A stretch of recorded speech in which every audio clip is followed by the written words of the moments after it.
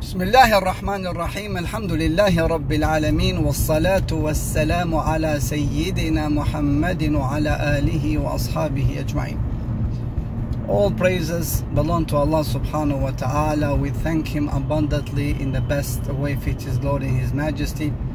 We send blessing and salutation to our Prophet Muhammad sallallahu alaihi wasallam, to his family, to his companions, and to all of them who, who follow their path to the day we meet Allah subhanahu wa ta'ala. My dear brothers and sisters, Allah subhanahu wa ta'ala from His rahmah, He sent, He sent to us the last messenger Muhammad ibn Abdullah sallallahu alayhi wasallam. And He sent him as a rahmah, as a mercy for all mankind, for all creations, jinn, humans, animals. And that's why Allah subhanahu wa ta'ala says, وَمَا أَرْسَلْنَاكَ إِلَّا رَحْمَةً لِلْعَالَمِينَ Subhanallah. I didn't send you, O Muhammad, except as a mercy for all mankind. My dear brothers and sisters, the Prophet ﷺ didn't left nothing which can lead, send us, or can show us the path to Jannah except He explained to us. And He also He didn't left nothing which can take us away from the path of the Jannah except He warned us and explained to us to stay away from it. As hadith Abu Dhar al-Ghaffari radiallahu anhu says, hadith the Prophet sallallahu fi sunan, قال ما بقي شيء There's nothing left which can keep you or can get you close to the Jannah or can show you the path to the Jannah except being explained to you. إلا وقد بين لكم وما بقي شيء يبعدك من النار إلا وقد بين لكم and there is nothing left which can keep you away from the hellfire you can make you safe except he sallallahu alaihi wasallam explained it to us so therefore my dear brothers and sisters I want to share with you today one beautiful hadith which is collected in uh, Musnad Abu Ya'la and also in Sahih Ibn Hibban بسند صحيح the Prophet sallallahu alaihi wasallam he says khams five things if the Muslim strive and he try to apply this in his day, then the, the reward is huge. What is the reward? كتبه الله من أهل الجنة لا إله إلا الله Allah writes your name from amongst the people of the Jannah. Five things. Let's go over to this beautiful hadith. خمس من عملهن في يوم كتبه الله من أهل الجنة What is those five things my dear brothers and sisters? The first one is من صام يوم الجمعة Whoever fasts يوم الجمعة And we're going to explain what we mean by يوم fasting in يوم الجمعة The second one وراح إلى الجمعة and he goes in Salatul Jum'ah. It goes in Masjid. Number three, وَعَادَ مَرِيضًا And he visit a sick person. Number four, وَشَهِدَ جَنَازَةً And he witnessed janazah. And the last one, وَأَعْتَقَ رَقَبَةً And he free a slave. So let's go over to this beautiful hadith and explain what the Prophet ﷺ mean. The first, the first thing the Prophet says, "Man sama, man sama yawm al What do you mean? Whoever fasts in the day of the Jum'ah. What the scholars explain to us is, "Man sama yawm al-Jum'ah ittifaqan wa laysa qasdan." Yani ittifaqan, and it. He's fasting to fall in the day of Jum'ah, but he didn't choose to fast in the day of Jum'ah by itself. For example, like somebody choose to fast the fasting of Dawood alayhi salatu wasalam. To fast one day and break the fast one day. This is the best fasting the Prophet sallallahu alayhi wasallam told us. So what happened to he fast Wednesday, then he skip Thursday and happened to fall. He's fasting in the day of Jummah. Or somebody fasting the the the days, the white days of 13th, 14th, and 15th of the Islamic calendar. The reward is huge. The Prophet ﷺ told us if somebody fasts every month, these three days, Allah write for him like he has fasted a whole year. And uh, al-hasana bi-ashri amthaliha. So subhanallah.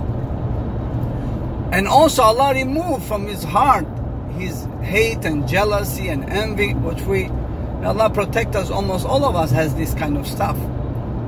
So somebody decide and happen to be 13th or 14th or 15th in the day of the Jummah. Or somebody fast the 9th and 10th of the Ashura and happen to be in the day of. Or somebody wants to fast Yom Jummah with one day before.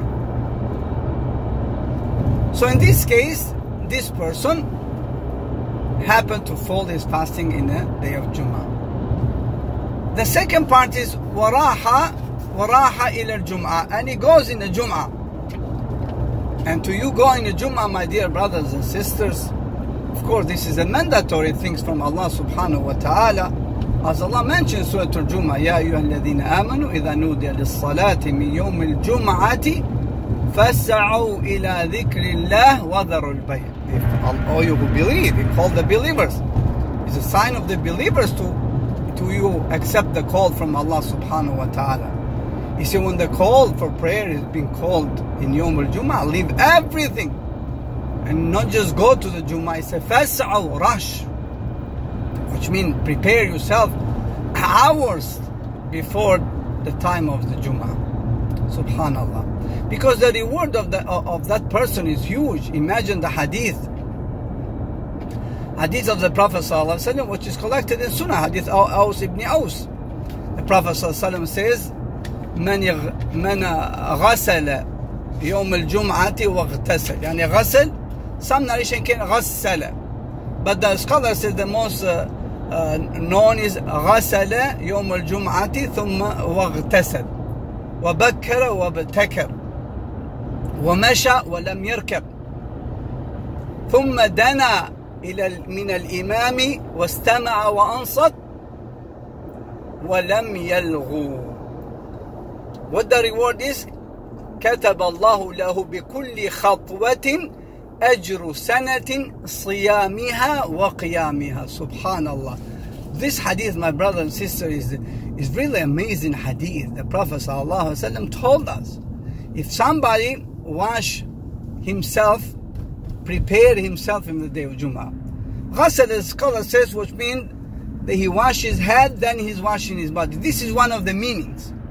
Because the Sahaba, usually they was putting a lot of oils in their hair so they can keep the hair together. And in this case, they was washing their head first and then they washing the, their bodies.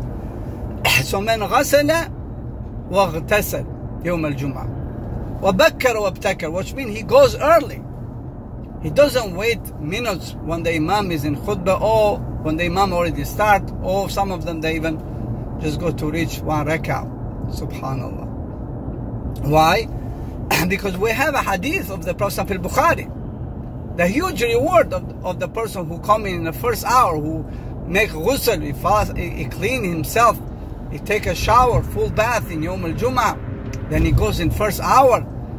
The reward from Allah is like he has sacrificed camel.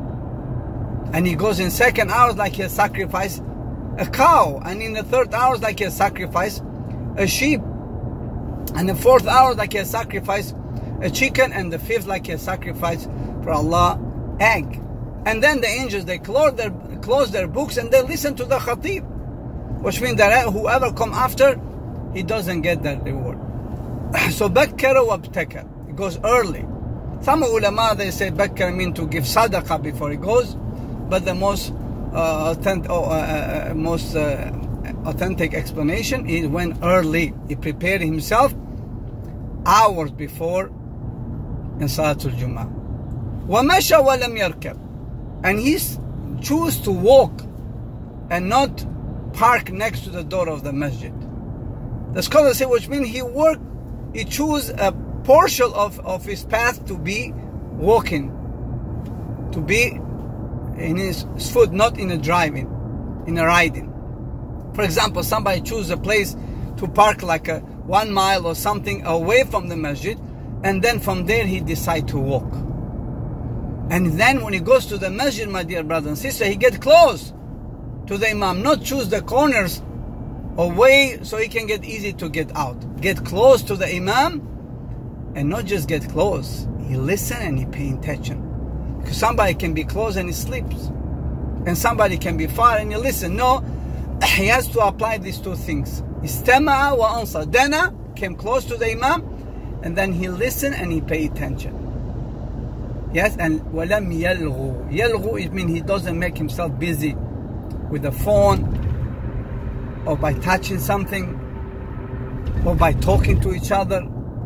No, he doesn't. He listened to the Imam.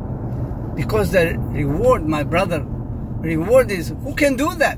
Reward is every step you put as you go in a masjid, the ajr, one year like you have fasted all day, day and one year like you have prayed all night. Optional prayer. The reward is huge, my dear brothers and sisters. So that's why the Sahaba they took these days seriously. So if you goes in masjid, and number three, wa'ada maridan, and he goes to visit a sick person. He goes to visit a sick, per, sick person. Of course, now in these days of this pandemic, you most of the people who are diagnosed with COVID, you cannot visit them.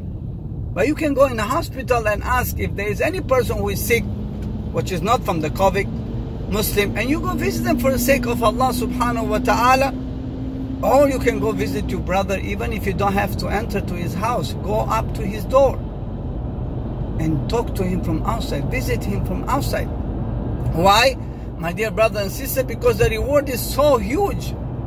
Hadith Sunan Tirmidhi بسند صحيح the Prophet ﷺ says ما من مسلم يعود مسلما يعني he visit there is no Muslim who visit his brother Muslim sick غدوة يعني in the morning Illa, listen to the reward. Illa صلى alayhi ملك سبعين not ملك I'm sorry. Illa عليه alayhi ألف ملك حتى Hatta سبحان Subhanallah.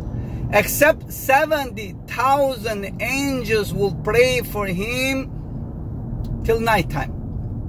And if somebody visit him in nighttime, there are 70 70,000 angels will make dua for him till morning حتى يصبح وكانت له خريفة في الجنة and also will be like a خريفة يعني ثمار في الجنة will be this as a fruit in Jannah May Allah subhanahu wa ta'ala make us from among those people. So the reward of, of visiting the sick is huge, my dear brothers and sisters. So what was the next one? Is shahida janazatan. He witnessed the janazah. And this is huge reward. As you all know, hadith in Bukhari or Muslim. قال من شهد جنازة حتى يصلي عليها. The Prophet says, whoever visit the janazah until they pray his salah.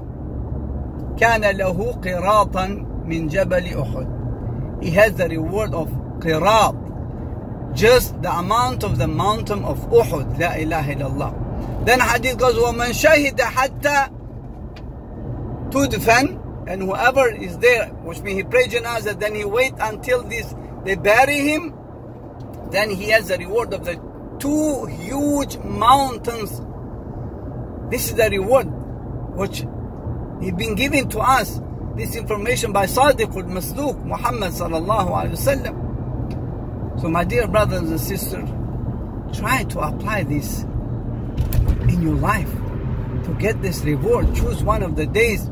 Imagine with the day of Juma and see if you can apply these five things.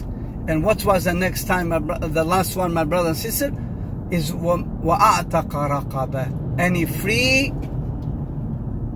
a slave. Now, of course, in these days, there is no slaves. So what should we do? Don't worry, the Prophet ﷺ told you, you can get the same reward like you free a slave and more. Hadith in Bukhari and Muslim, the Prophet ﷺ says, من قال لا إله إلا الله. Listen to this hadith. من قال لا إله إلا الله وحده لا شريك له له الملك وله الحمد يحيي ويميت وهو على كل شيء قدير مئة مرة مئة 100 time if you can say that a day كانت له عدل عشر رقاب وكتبت له مئة حسنة ومحيت عنه مئة سيئة وكانت له حرز من الشيطان ذلك اليوم. سبحان الله. Whoever says this dua small dua we all know. قال لا إله إلا الله وحده لا شريك له.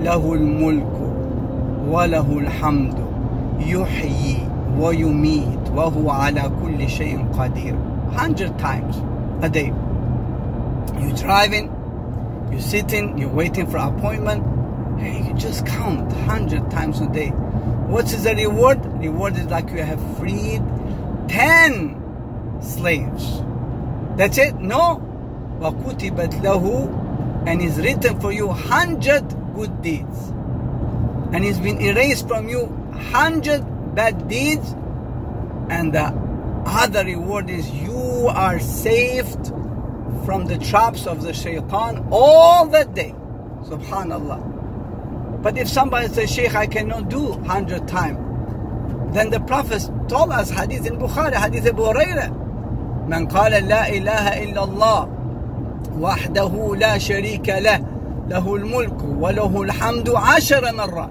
10 times how much how many seconds will take you to say 10 times maybe less than minute maybe a minute and a half what is the reward كمن أعتق أربعة من ولد إسماعيل like you have free four slaves from the children of Ismail which means four Muslim slaves may Allah subhanahu wa ta'ala my dear brothers and sisters make us from those people who can apply this. Choose one of the days you followed you fast Thursday and you look. If there is any janazah in that day because that is the most difficult things to match and then go visit the sick. And go pray the janazah and go with, to the grave. And then do this adhkar you name will be written from the people of the Jannah may Allah subhanahu wa ta'ala grant us this gift هذا وصلى الله على نبينا محمد وعلى آله وصحبه أجمعين والسلام عليكم ورحمة الله وبركاته